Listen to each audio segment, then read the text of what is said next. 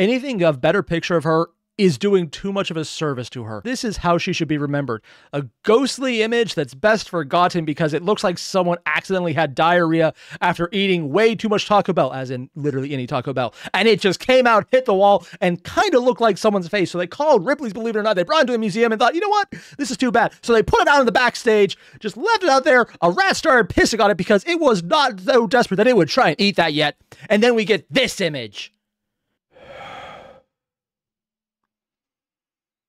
Today we are going to finish Super Eyepatch Wolves, the bizarre world of fake psychics, faith healers, and mediums. Last time around, I stopped because that was absolutely enraging. Every step of the way, I was literally very close to thinking of just putting my hand through my monitor because this was not okay. More importantly, though, we're going to finish this today. This is not because I want to finish this video. This is me doing it because I actually think Super Eyepatch Wolf is doing a really good job in getting this across and showing exactly how fucked up it is. And it's like the weirdest time where I absolutely hate him for doing such an amazing job that I completely respect and am glad that he's making it like this. Link below, original video. Let's get into this before I do the smart thing and run away screaming spoon on my Cadillac, which I asked. You know, you I probably should have skipped past this. It pisses me off still. Here. Randi, meanwhile, would go on to offer a $1 million cash prize to anyone who could prove they had legitimate psychic power, of which hundreds of people applied and none were successful. I'm just going to take a second to enjoy this because I doubt for a second eh, that he's going to stick around too long. Because one, he's old, and two, we just saw the previous asshole being alive now, and it pisses me off. Thank you for that moment of the only good part I think I'm going to get out of this video. I'm savoring it as much as I can. Randi continuing his fight to disprove psychics and expose frauds for the rest of his career. And the thing was, people hated him for it. He was seen as this cold, vindictive, scientific entity, attacking innocent spiritualists and pushing back on a movement that was ultimately because they're fucking brainwashed by the cult. Because it's like, oh, how dare you attack our great leader because he said he could talk to my dead mother who said I should give him all my worldly possessions. Mother who doesn't want you to say no to me. And if I actually listen to you, then I literally gave all my worldly possession to a con artist who I completely not. I can't do that. You have to be lying. I don't even fucking. The worst part is that's not even a specific example. You can find literally millions of those stories online, and it pisses me off. Harmless. No, I You say said Uri North Gill is a fake. You No. came here and you're giving Never. everybody a lot of lip Never. service. No, no, no, and you haven't done anything I except show said- us a lot of tricks that you I learned out of your never two-bit act that you're not I working never in. saw. We're going for They're commercial defending the con and artist. can talk. We'll be back with Diana Trout. And this brings us to a really important question Is there actual danger in people claiming to be psychic? Yes! Every fucking second! Yes! Sylvia Browne Oh, no. rose to fame in the late 80s. She'd appear on daytime talk shows demonstrating her ability to channel the dead, those spirits giving her visions of the future, letting her ins- This is the one that pissed me off the most. The rest, they're just scams. You can get around them. But this, this is explicitly going for people, anything to do with mediums. It's always the people who really just have that emotional connection to someone who died. And they're devastated and they're vulnerable. And this is literally designed to fleece them, to take money from them, to make them believe something good happened. Did it? No, they're just stealing from them. It's just theft that they've convinced you that you want.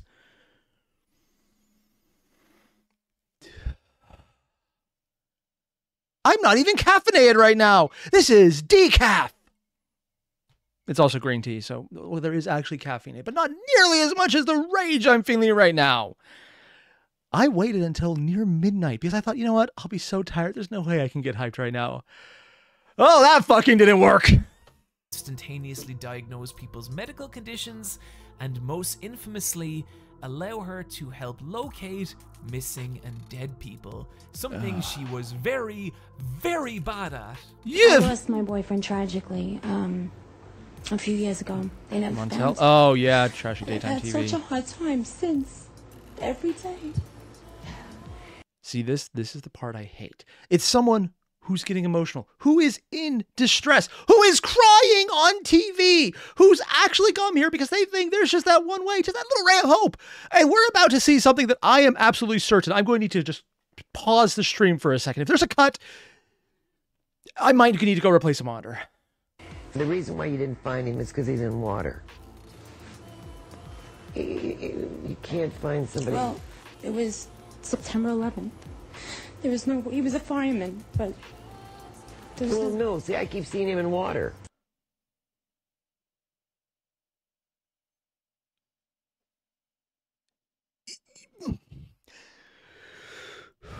Super Eyepatch Wolf, you fucking son of a bitch. You picked someone who you know exactly where they're at, and you're seeing someone distressed because they're. It was a fucking 9 11 first responder. You know what happened to them. And then there's this just meeting going like, oh, no, honey, I don't care. No, they didn't die in the towers.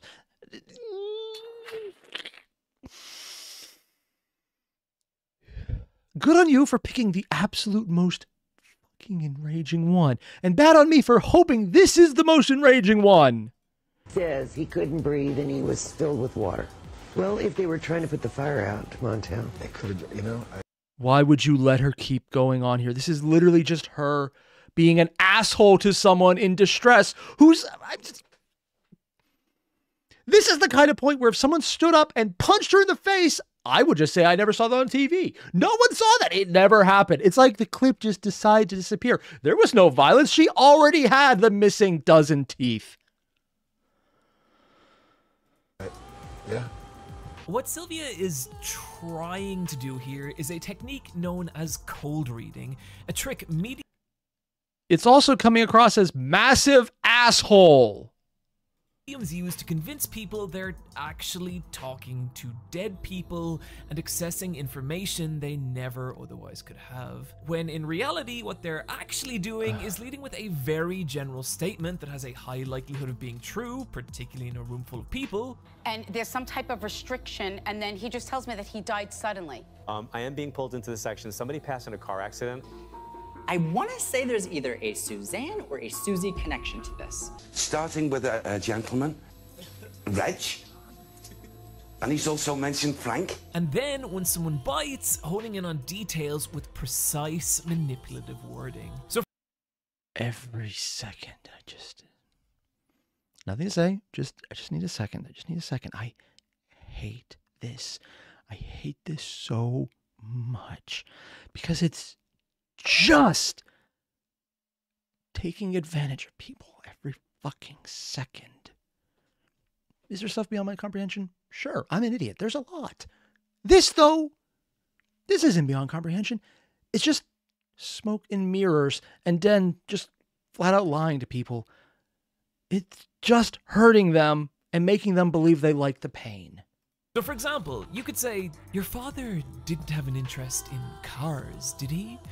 This is a good bet because most men of a certain age and generation like cars. And so, if the answer is yes, hey, you were right. But if the answer is no, you were also right because you already planted a negative in the original statements. And now you can just option select into, ah, I didn't think so, and move on.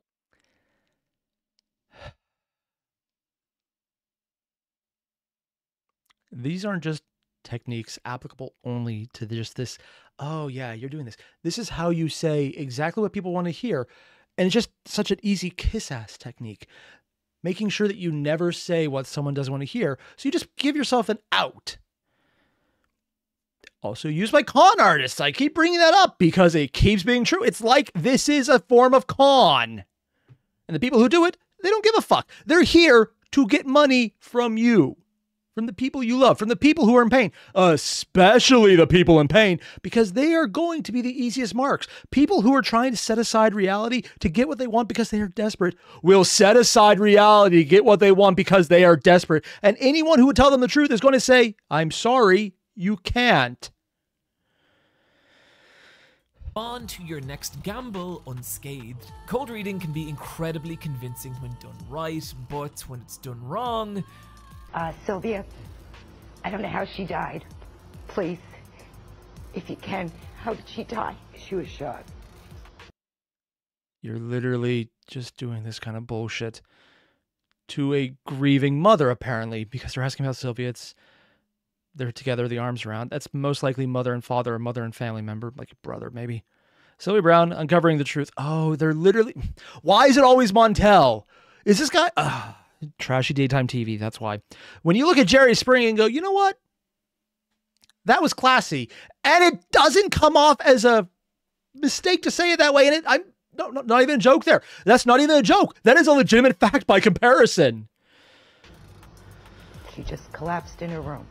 I don't know, but something looks like They found nothing jet. on the ort- autopsy. I don't care. I did not add this music. This is the only version of the footage I can find. But it looks like something hit her in the chest.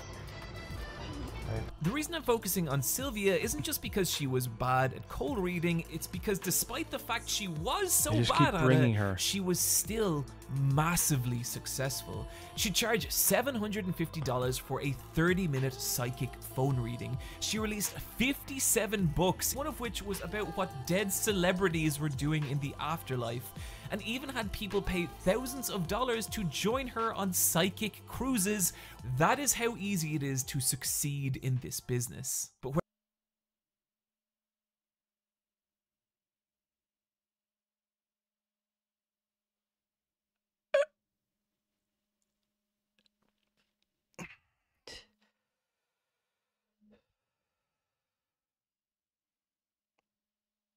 Okay.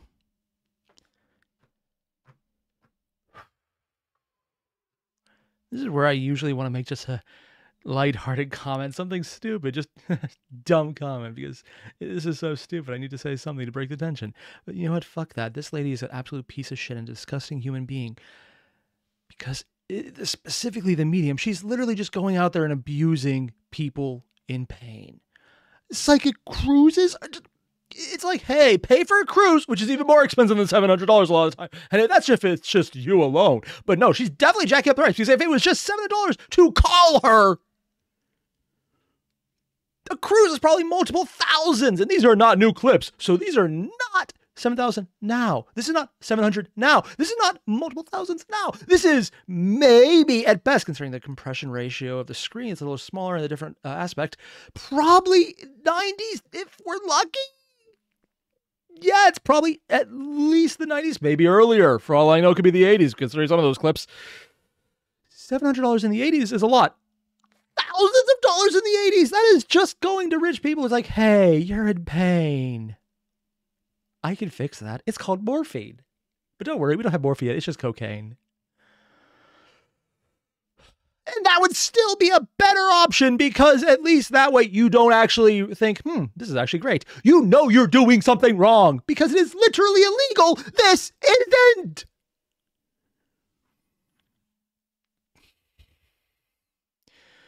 I thought the last video, just the last half, was bad. And I just, I don't even think we're at the worst stuff yet. It's just, just where this goes from shameful to truly abhorrent no. Is her work in finding missing persons. What did she- At uh, multiple oh, points, she's that. predicted a missing child to be alive, giving the parents hope, only for that child to be found dead. Montel again. She's not dead. Apologies about footage quality again. It's the only version I can find. No, no, no. Trust me. This is the kind of aspect quality she deserves. Blurry and shit. Anything of better picture of her is doing too much of a service to her. And a disservice to anyone who could see it because this is how she should be remembered. A ghostly image that's best forgotten because it looks like someone accidentally had diarrhea after eating way too much Taco Bell, as in literally any Taco Bell. And it just came out, hit the wall, and kind of looked like someone's face. So they called Ripley's Believe It or Not. They brought it to a museum and thought, you know what? This is too bad. So they put it out on the backstage, just left it out there. A rat started pissing on it because it was not so desperate that it would try and eat that yet. And then we get this image. But for some reason, she was taken and put into some kind of slavery thing and taken into Japan. You Four years later, the little girl's remains were found near Fort Worth, Texas. An autopsy showed she was killed shortly after vanishing. She's given tips on missing children's cases that led nowhere and diverted attention away from the actual investigation. Diverted. attention. People believe, of course they did. That's the entire thing about this video. It's people wasting money and time. But and if they're just missing, then how many people actually died because she got them away from where they were at? Case in point, just listen to what Sylvia Browne told Shawn Hornbeck's parents about their son's kidnapper nearly four years ago on the Montel Williams show. Montel the again. He was um, dark skinned. Is he still with us? Thankfully, Shawn Hornbeck was found last week alive and well. His alleged abductor, Michael Devlin, is not Hispanic, and he didn't have dreadlocks at the time of the abduction. And she even once told a mother that her missing daughter was dead, only for that daughter to be found six years later alive, the victim of a kidnapping. The mind melting tragedy being that by this point, the girl's mother had died, never to learn her daughter was still alive. Please, please don't clarify that she killed herself in depression. Please don't clarify that. Please don't clarify that. I don't, I don't, I don't, I just know.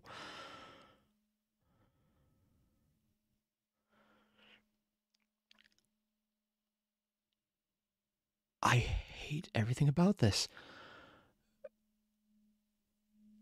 Ah.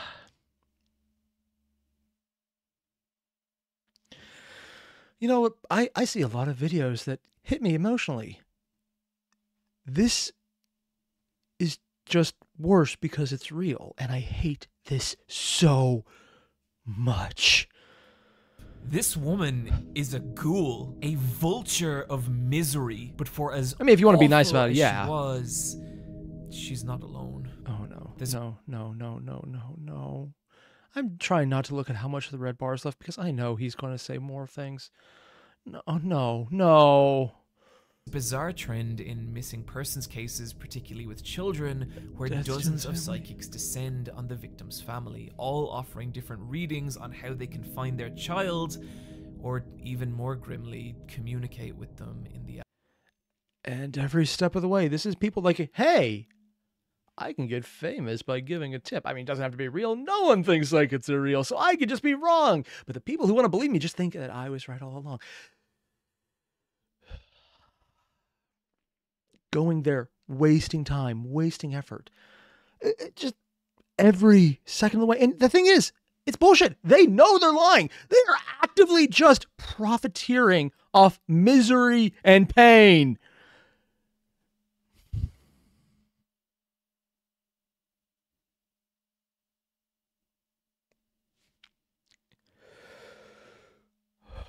Afterlife. I've read multiple cases where people so desperate to be reunited with their deceased loved ones have paid psychics hundreds of thousands of dollars. Fuck! Seven hundred eighteen thousand dollars just got sucked in.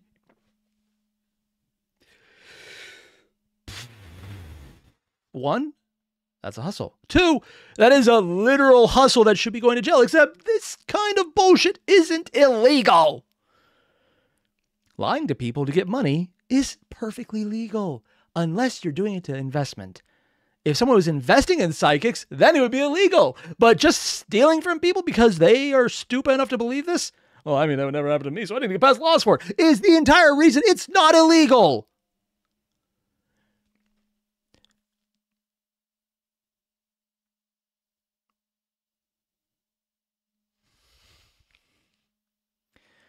I swear this video is going to kill me. I thought the last one was bad. No, we're not just tiny little fraction. We're just it's, And I get it. It's easy to victim blame here. To ask how 740,000? anyone could be so gullible as to fall for this. because people who lost loved ones are desperate and it hurts. That's not even a how are they so gullible. It's how is anyone not? You don't go into this thinking clearly. You go into this so emotionally compromised that you can't make rational decisions. You're desperate. This is the people who need to be protected from themselves because they will do horrible things themselves, thinking that they have no other choice to see that person that they're desperate to see. And they won't. And anyone who tells them otherwise is lying to them because they're listening to the person telling them, no, no, no, you can see them again. You just have to give me money and then I can do it. But that's not going to help.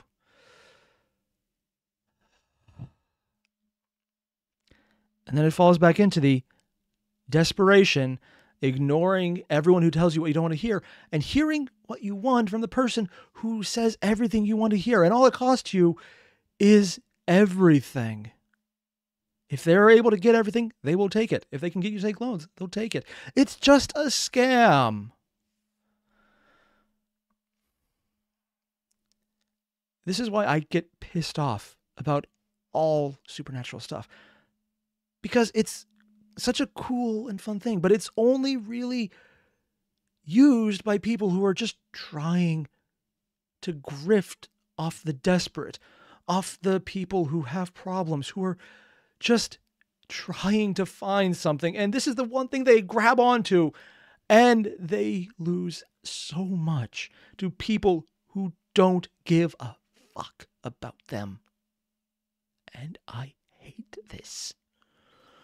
But according to Bob Nygaard, a private investigator who works exclusively in psychic fraud, the one reoccurring characteristic of his clients is deep personal trauma. These are people who have had their lives destroyed by sickness, by abuse, by loss, damaged, vulnerable people who want to believe that death isn't the end, that they could still have one more moment with the person they loved.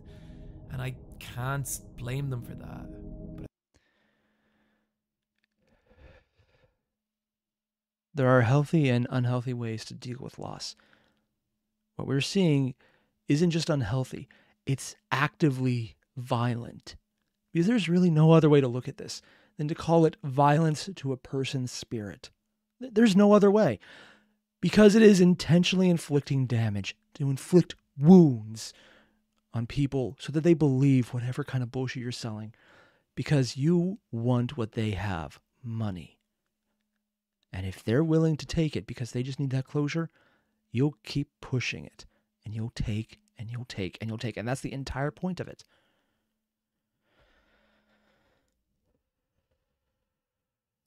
but I can absolutely blame the parasites who prey on them. There's another deeper, arguably more troubling layer to all this, and that's when supernatural fantasies become so strong they start to inflict physical damage on people.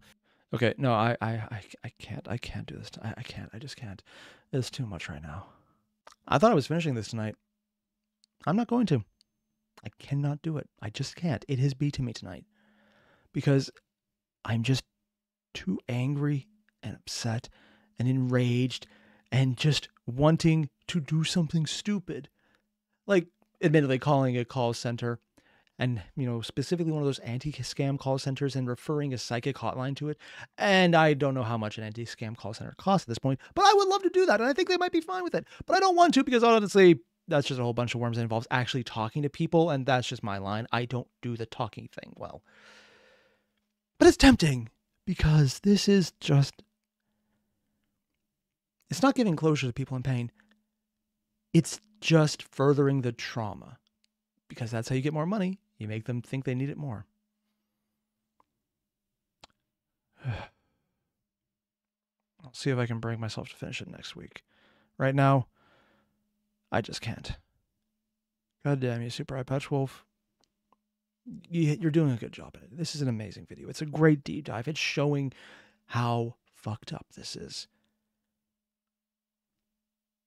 But damn if you're not doing a good job showing just how fucked up it is. So very fucked up. I'm gonna go do something else, see what happens. Probably look at kitten videos. So I'll see you guys then. Thanks for watching, everyone. I'll see you in the next one. Adios.